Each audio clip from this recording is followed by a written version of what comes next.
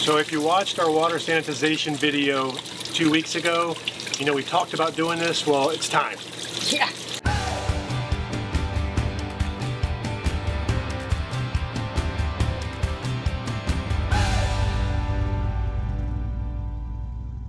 If you saw our video on sanitizing your fresh water system for your RV, you know that we bypassed the hot water heater and didn't sanitize that because we can't put bleach in there. A lot of you reached out and asked why we had to do that in two stages where we did the tank and then the lines.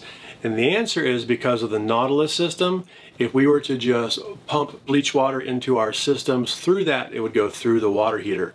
After that video, a couple of viewers reached out and mentioned that they knew how to bypass the water heater in the Nautilus system. So I tested it out and they're absolutely right. And that makes that process a whole lot easier.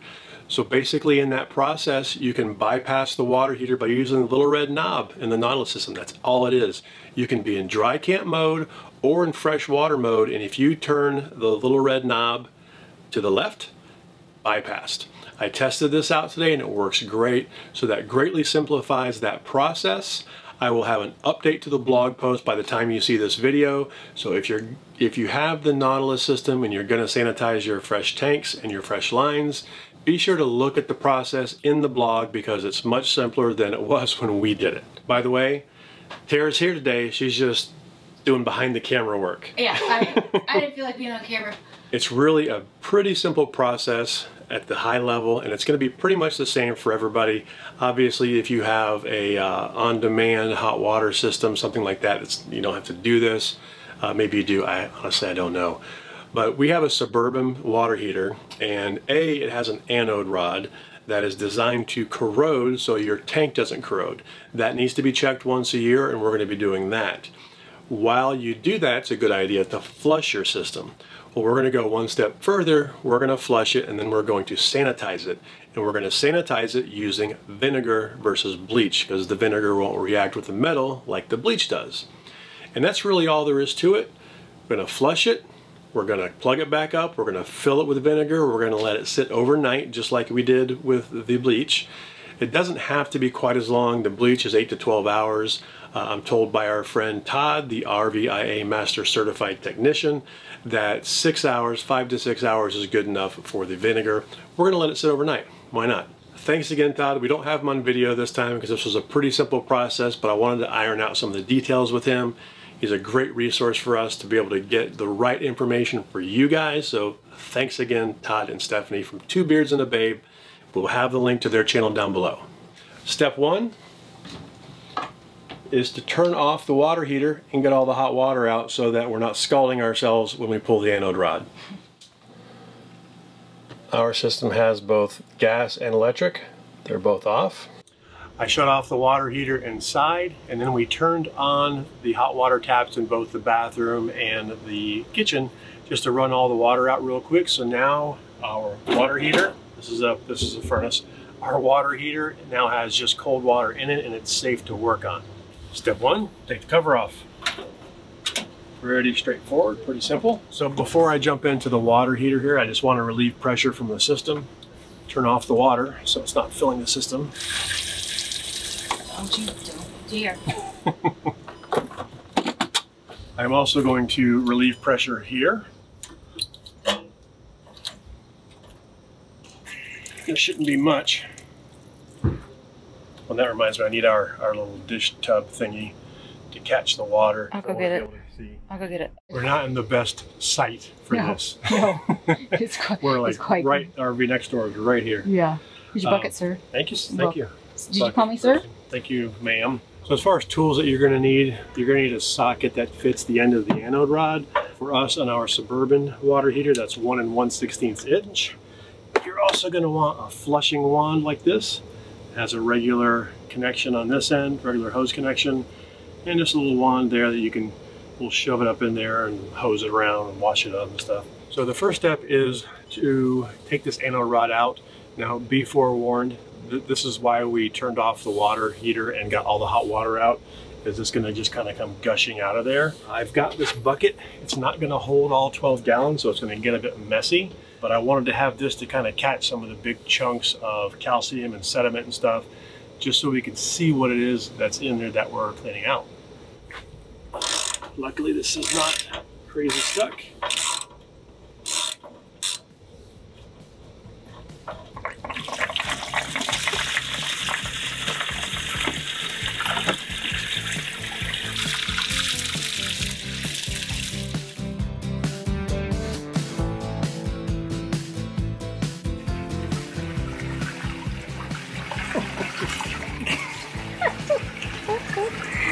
You having fun yet?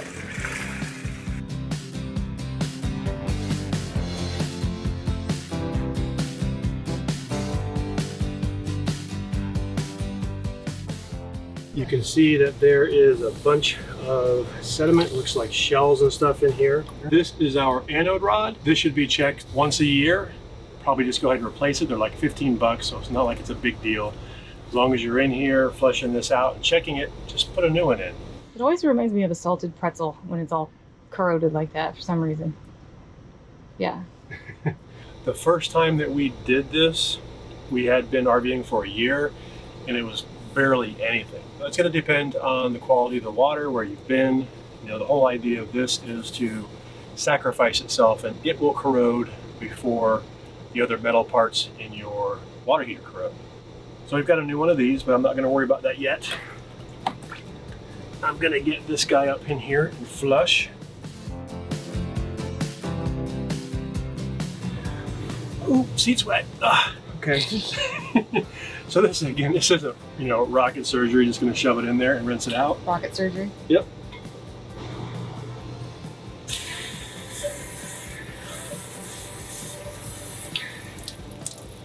And kind of drag it forward, see all the stuff coming out.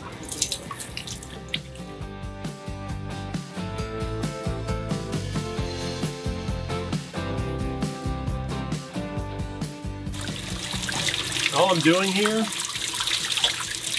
is, you know, most of the sediment is going to be on the bottom, so I'm taking this, pointing it down left and right, and just kind of dragging it out and having it kind of push the sediment out.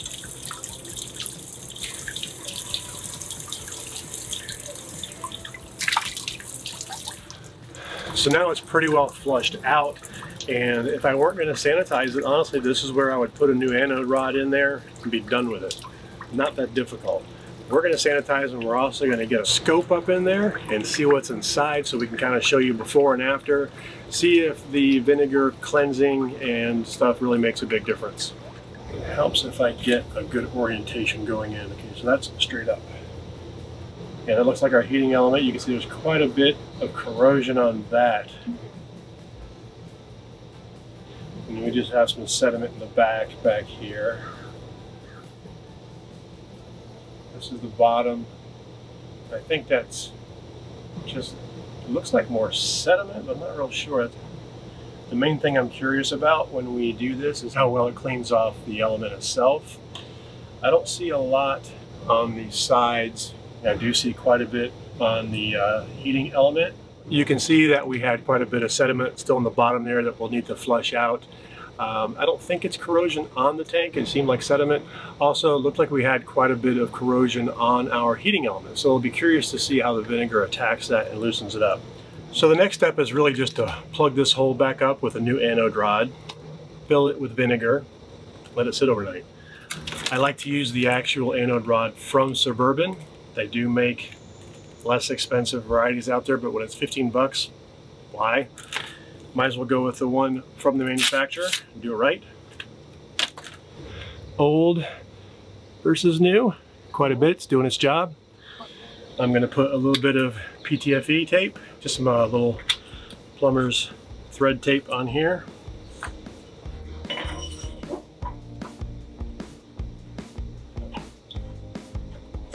This can be a little tricky to thread because you've got the weight of the rod kind of wanting to take it out of straightness.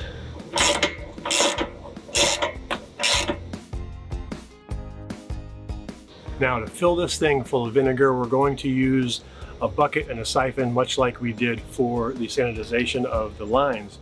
We're gonna put this thing in winterize mode, which is siphon to fixtures from pump. The key is we're gonna ignore the one for the water heater and we're gonna turn that into normal mode, not bypass mode. So it's gonna look like this.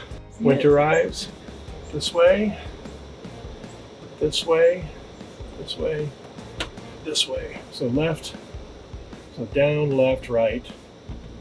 Normally this would be like this in this configuration to bypass the water heater. We don't want to bypass the water heater this time. We want to keep it like this. That way we're going to siphon to this fixture using hot water, pull this into the pump. As far as the mixture of vinegar to water, it's really not that critical. Honestly, the more vinegar, the better, but you're probably not gonna wanna scrounge up 12 gallons of vinegar and have it be straight in there. You could, but it's not necessary. Um, I've seen videos that say 50-50 mixture and that's fine. This was just as much vinegar as we could must get at the store. Yeah, they, there was a little bit of a vinegar shortage. I've got a little bit of water hitting here already. We're gonna dump this into it and then we're gonna use that and siphon it all in there. Should be noted that it's just plain white distilled vinegar, not like apple cider vinegar or anything. yeah. sorry, sorry. it stuck to my hand. he threw it at me.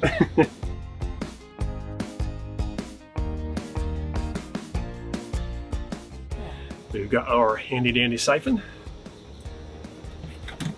And we're in the right mode. I'm gonna turn on the hot water on this.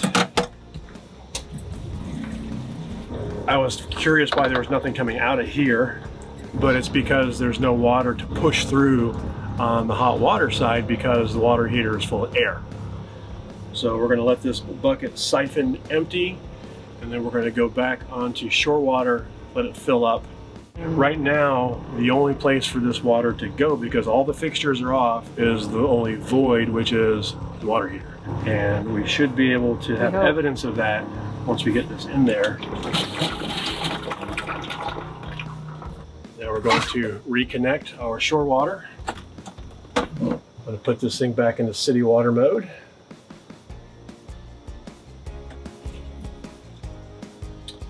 Also, I'm gonna hopefully hear a little bit of pressure release right here from water being in the tank.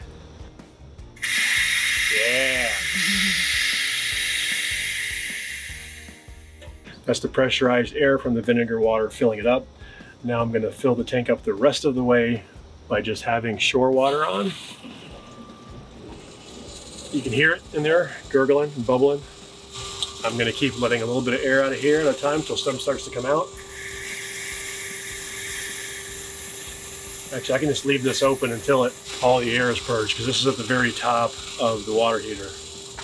And once this thing fills and starts coming out here and I close this, we should stop hearing that water flow. I can smell the uh, vinegar air coming out of the tank. If you're wondering what this thing here is, that is our Proteng fire suppression system. We have a separate video on that. I'll link it below, but we have fire suppression tubes in here, in our refrigerator area, down by the generator. We have the whole system covered. Oh.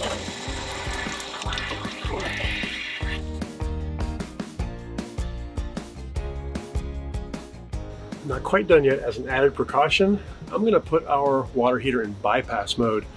That way, if we accidentally try to use the hot water inside, it's bypassed. And that's it for phase one. Got the thing full of vinegar water. We're gonna let that sit overnight and in the morning we will do another pull of the plug and purge it and rinse it and we'll take a look and see what it looks like. So, see you tomorrow. We let it soak overnight and this morning I put the bypass back in normal mode so that we could run the hot water through. Again, the water was not hot because the water heater wasn't on, and now we're just gonna pop this thing off just like we did before and flush it out and see what we get. Ready? Are you gonna you're gonna put the scope back in and check it out, right? Yes, Okay. we're gonna scope it. Okay. And we know the RV is filthy. It's kind of embarrassing. Yeah, for the record, we're in a site with a whole bunch of pine trees and sap and this and it's been it rained a couple days ago, so It's filthy. it's the RV is filthy. We know that. Please go easy on us. we know we know it. We hate it. Yeah. Ready? Same process. I'm going to turn off the water, relieve a little bit of pressure. with our accumulator tank in there, it holds pressure a little bit more than normal. Still going. going to also relieve pressure here.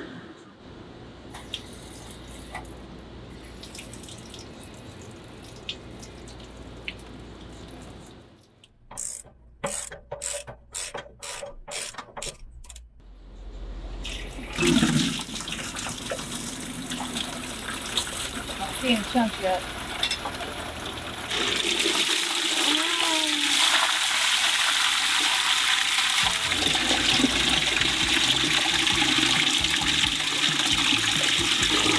This is just fresh water, of course.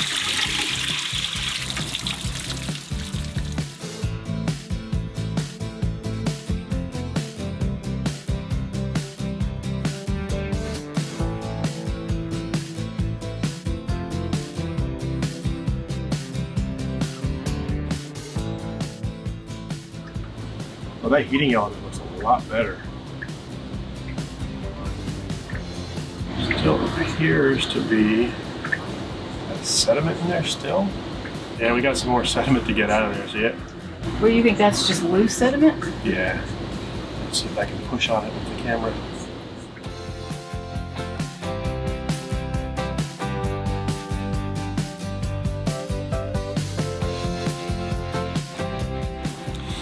This thing has been a pain to try to get all the sediment out there, so I've got a dryer vent brush that I'm gonna try.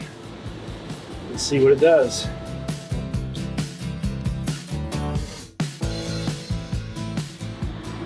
Seem to be doing anything.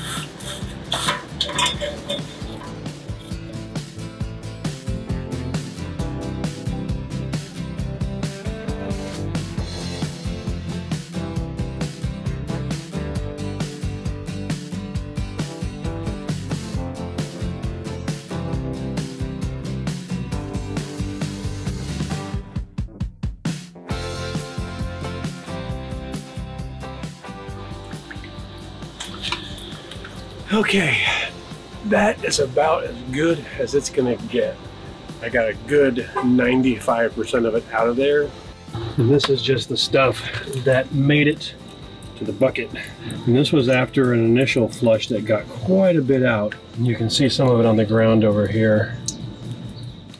So that's it for out here. I'm gonna put the anode rod back in and fill it up, turn it on, and we should be good to go.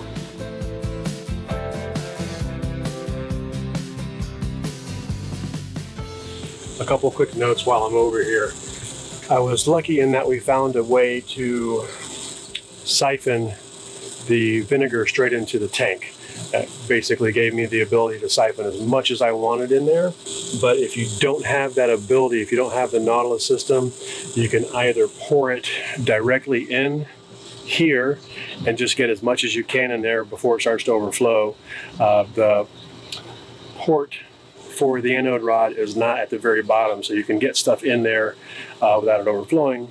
Or you can try using, if you have one of these pressure relief valves, you'll notice it has threads on this side of it. This is obviously blocked by this, but this is held on by a couple of screws. Um, this is just the venting for the propane side of the water heater. But if I could move this out of the way, I could screw something in here and then feed it in that way. So that's another option you have if you want to get vinegar into your water heater. Probably the best way. Just put the anode rod back in and uh, fill via this port here. It's just a pressure relief valve, but there's no reason that vinegar can't go that way. That pretty much wraps this up out here. Once water starts to come out of this piece here, I know it's full, and then I'll bleed the rest of the air inside. And turn on the hot water so we can take a shower. All right, we're done. So as you can see, the process of getting the sediment out through the porthole for the anode rod is probably the most difficult part. If we had done this in a location where I wasn't worried about water just running off onto the ground, I could have just spent the time and just worked it out. It's all just a matter of randomness and currents and getting stuff to come out that hole. A couple things I tried that you might have seen. I tried that siphon thing that I have, and just in case, you know, we have trouble siphoning water into the tank. It's just a primer is really all it is. I've never had to use it, it's just something I carry. That didn't work. I got our dryer vent cleaner, the long thing that's like this with the blue brush on it. That seemed to help. That basically, I think, having the water in there at the same time as that brush, kind of mixing things up and stirring things around, the more you can stir things up in there, the better. The more chance of that sediment coming into contact with the flow that's going to come out of the hole. So I think that's the key. I think when you do this, if you have the wand, you got to have the wand and get up in there. Uh, have a long brush or a stick or something in there that you can kind of stir things around and, and get that to flow and come out. Uh, you'll see in the footage of the last scope, there's still some stuff in there.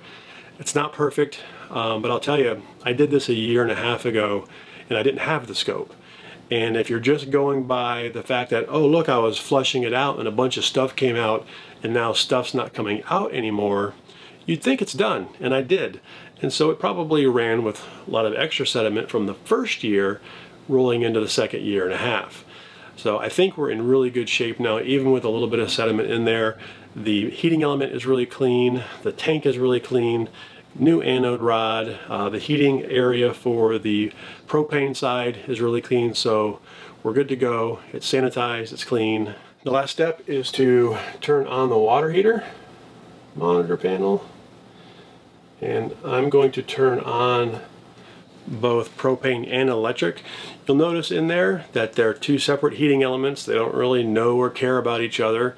You can run both of them to heat up your water super, super fast, which is what I'm gonna do because I need a shower, Tara needs a shower, and oh, you can hear it kick on. That's it. So I hope you enjoyed this. It's a pretty easy process, probably easier than it looked. And don't forget to hit the like button and subscribe, and here's some outtakes. The main thing to remember is Oh my gosh. Here, I could, I could loosen them up for you. Be a good assistant. Oh, you sure you can? I'm gonna do it. Gonna do it. Get in front of the camera so they can I see. can't. No, because I'm trying really hard. but I have I put lotion on right before. Oh, screw it. You do it. Son You, can, you don't have to be over this part. I can go cook You, you, may, wings. you may go cook dinner for me now. I'm allowed to go cook dinner for you. Guys, don't try this at home. I if I didn't You're know not, he was not, you're not joking. The, you're not in. Oh, hey, how can you see me now? How about now? Can you see me now? Get your face in there. well, I probably won't use it, but he's giving me permission to go cook some chicken wings. So nice. But I know you're just joking. I'm just joking. But feel free to have a cold beer ready for me. I would say that we could have picked a better site to film this video.